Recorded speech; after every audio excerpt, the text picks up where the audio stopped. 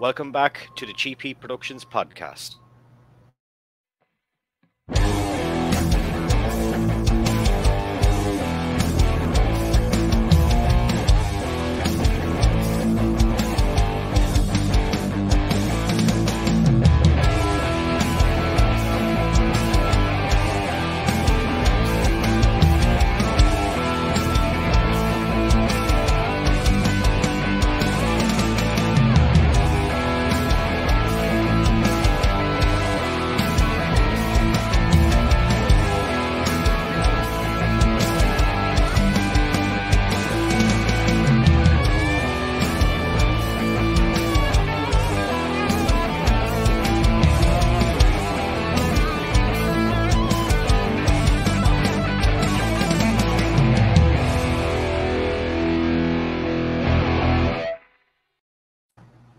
Okay, welcome back to the show. And today I've got a very special guest. His name is Mr. Orlando Draven from the band Zeistencroix, which I hope is the pronunciation that is correct. Yeah, it's perfect. Thank you. Yeah. Listen, man, today is a very significant day. Your new EP is dropping today. Can you tell people what it is, what to expect from you guys? Because I know you guys have been around for quite a while. Yeah, first and foremost, thank you very much for having me. It's no great. problem. Uh, I mean, the the new EP is gonna be uh, actually it is really a blend between. Uh, I, I would like to say that it's kind of nihilistic because it's uh the the way that the lyrics are are put together and and the music is kind of like a blend, like I was gonna say, of uh, soft stuff, pop stuff, and heavy stuff. So we have a little bit of everything on it. So now that you can hear it, it's gonna be uh, an experience. I mean, because it's gonna have uh, a little bit of everything for everyone. So Yeah. we're gonna have like a w- we have our, our single out for for a while, which is Ice Queen, and it's kind of like a pop rock song, more like Yeah. a melodic kind of thing.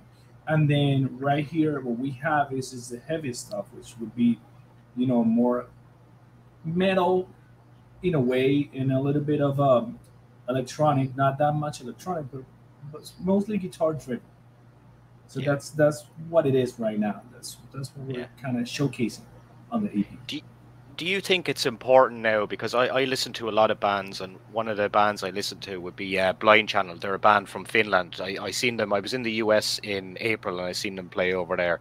And they're a band that have a, a lot of different influences and mixes as well.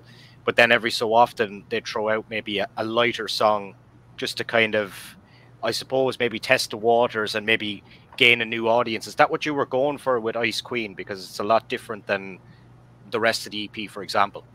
Oh yeah, no, that's for sure. Uh, I was saying before in uh, talking to some friends and some people, and I said that Ice Queen was like the the odd one, like the the, the special one, because it's not really the style that we used to showcase or the one that we used to play, and I didn't want to leave it out of this because I, I thought it was kind of special. Like I said, it's it, it's different.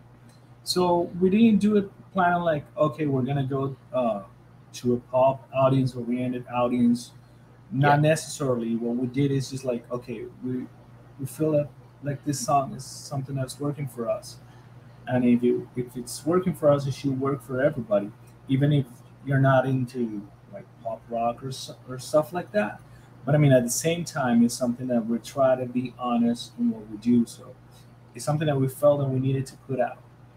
Even Yeah, though so- it wasn't like yeah it, it- even though it wasn't exactly the style or the genre but but at the same time it's something that comes from the same band. So it shouldn't be that far away from that. Yeah, it's still organic to you guys, you know.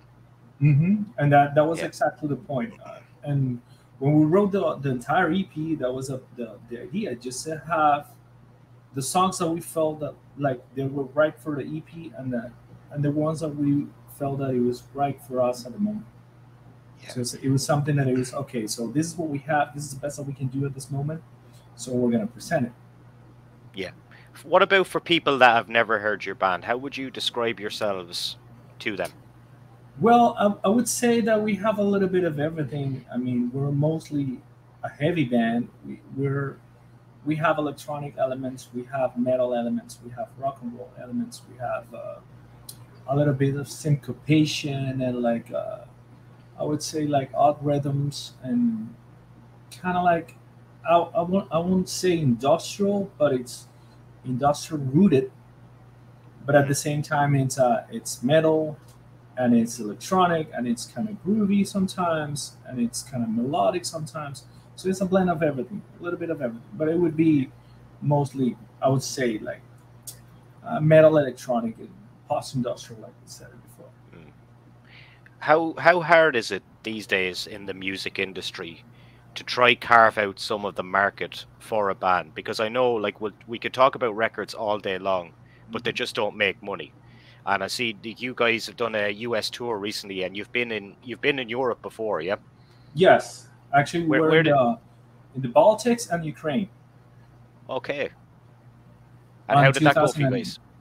And that was great, actually. We were in Ukraine, and probably I would say that was the best audience that we've ever played Yeah. to, and it was really, really, it was comforting because it was uh, it was different. So we weren't expecting anything or too much because one, we're new, so we still uh, had that in the back of our head that okay, so we're gonna do something new.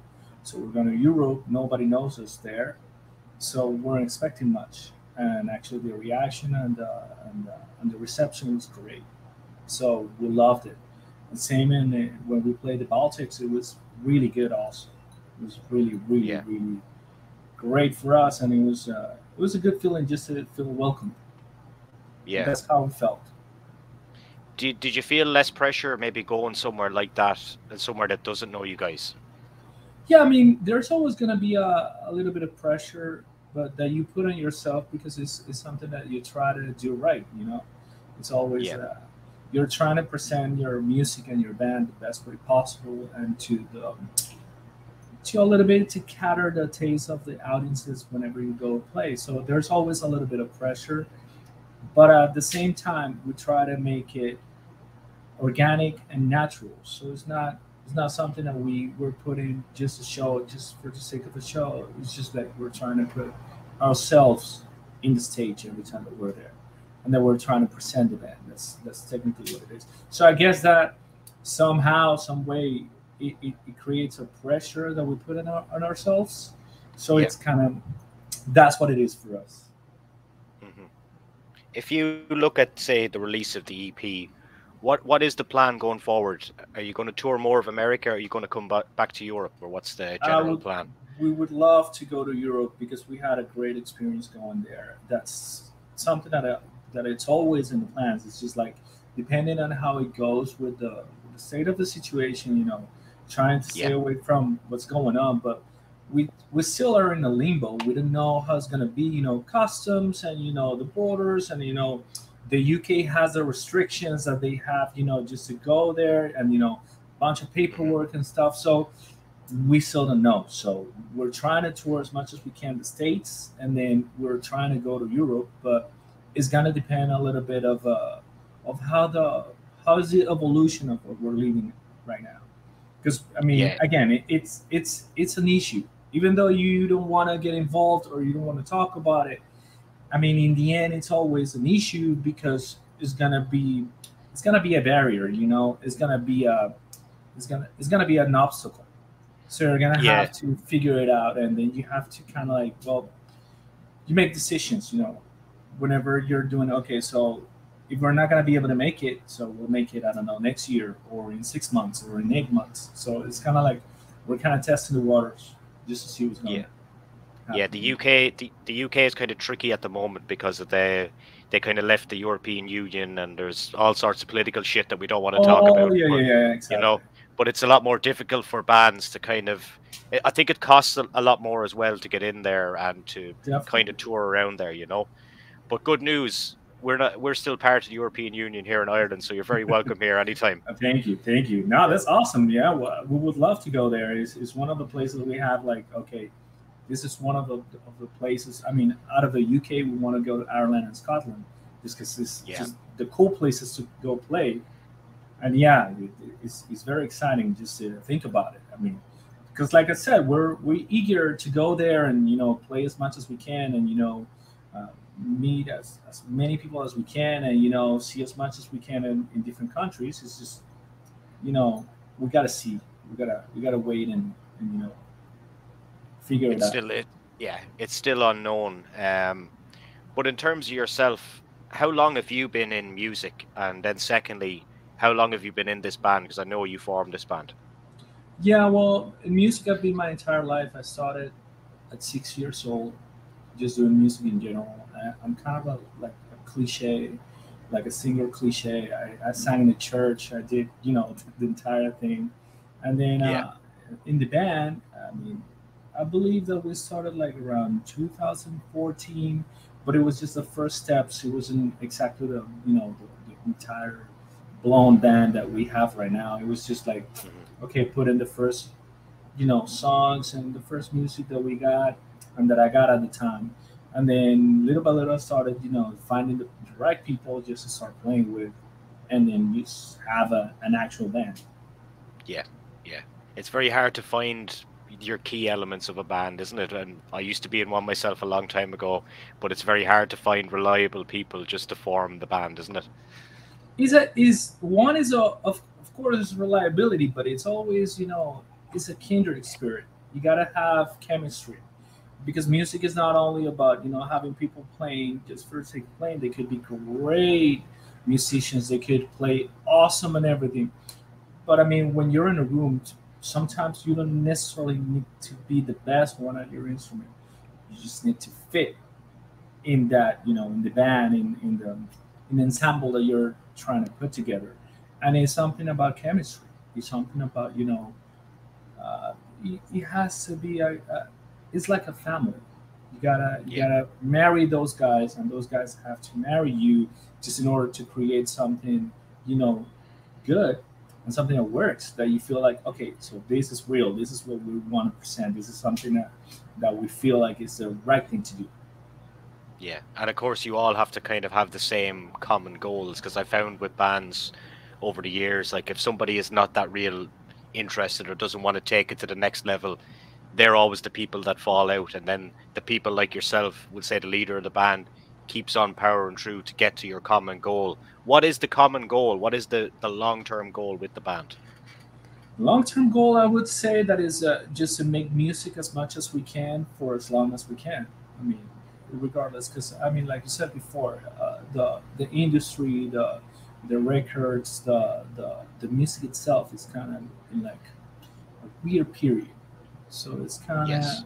nobody knows what's going on. Nobody knows what's going to happen, and that's actually it's always been like this. Not as bad as as it is today, but it's always been like this. So all you need to do is just make music, but make music that you feel like is uh, is an honest way to make music, and it's, it's something that's real, something that, that you're not working towards, or just to cater some audiences, or just to cater some genre or style. So you're doing the music that you feel at the moment, the, music that you you think, and then uh, with the, with the with the group of people that you have, you all feel that is uh, the the best that you can do at the time.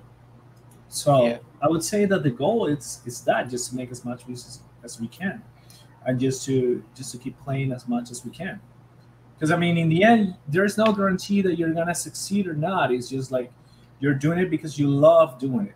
You're not doing it because of, of the money or you know all those weird things that people always peg, you know, or attract to, or just say that it's rock and roll is all about. But in the end, Yeah.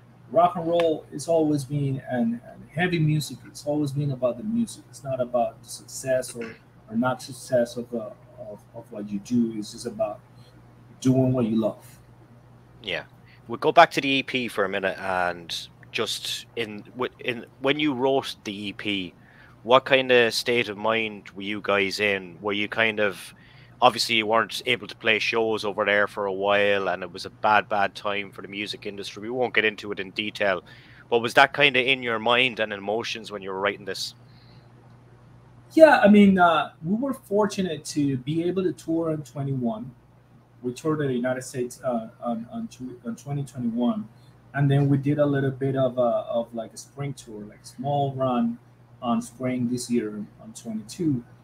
So we weren't that, you know, that static, so to speak. So we, Yeah. we, we did some stuff. So it, it was it was good for us to just to be able to play a little bit and just to see some people and then used to be on stage, not at the same level as, as we would love to or we would, would like to, but I mean at the same time we, we made it, we, we did it somehow. Yeah.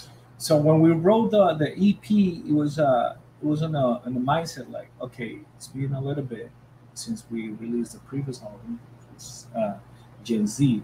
So I, I believe that it's time just for us to move forward. And with everything that happened, uh, we were supposed to promote better and do something better with the previous album, but you know, all these things started to happen and everything shut down, and it was it was impossible. So at the same time, the label the label that we had before, the contract was due, so it was over. So we wanted to have something new, something something fresh. Uh, with the state of the events that was going on, so we would rather just do something local. So we found the new label that we're right now, Pavement Entertainment, and then we said, okay, it's time for us just to make some music. So the mindset, I, I believe that it was a little bit to put it in, in some weird stuff, uncorrupted. So we weren't that much, you know, involved into the the the events that were happening. We tried to Yeah. just make music for the mm-hmm. music because we felt like it was the time just to make music, not because we had the time or we were locked down at home or no, that that wasn't exactly the idea. The, the idea was okay, let's make music because we need to make music, and then we want it, and it's time. It's been two years after you know the previous album, so I think that, that we should start you know throwing ideas, and that's how it started. So Yeah. the, the situation with us is that uh, our guitar player lives in Seattle, so we don't live in the same state. So we live in, in Los Angeles. Uh, the drummer and I, Santi and I, we live in Los Angeles, and he lives in Seattle. So we kind of bounce idea back and forth between the states, and you know, whenever we got together. So that's exactly how it came about. So it was, it was odd, it was different, but it was really exciting just to, just Yeah. to try. And the quality of that EP is absolutely fantastic. I can tell you from Thank you. hearing it. And where did you guys record it? Well, we, we recorded at Stygian Sound. That's in North Hollywood with great a great friend of- ours. That is uh, Alex Crescioni, and he mastered the, the entire EP too. And then uh, we mixed three songs with him, and then we mixed three songs with Tim Palmer.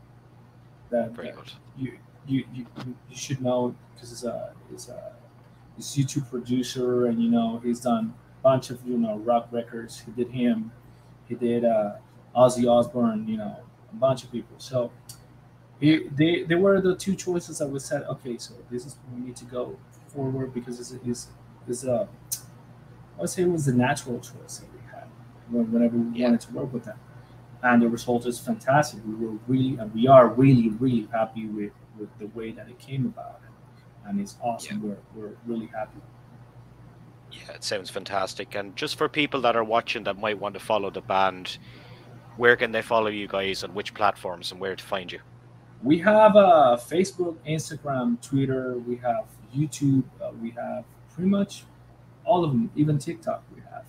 Uh, but but I, I will always say the same. Uh, it's easier for for the fans or anybody that wants to like get introduced to the band if they put it on Google, Croix or cxband.com. So it's easier, you know, for uh, everyone that wants to, you know, kind of get involved or just to see what we do or how we do it. You know, that would be the way to go. Yeah, man, pleasure to catch up with you today. And hopefully, I'll see you much. in Dublin sometime.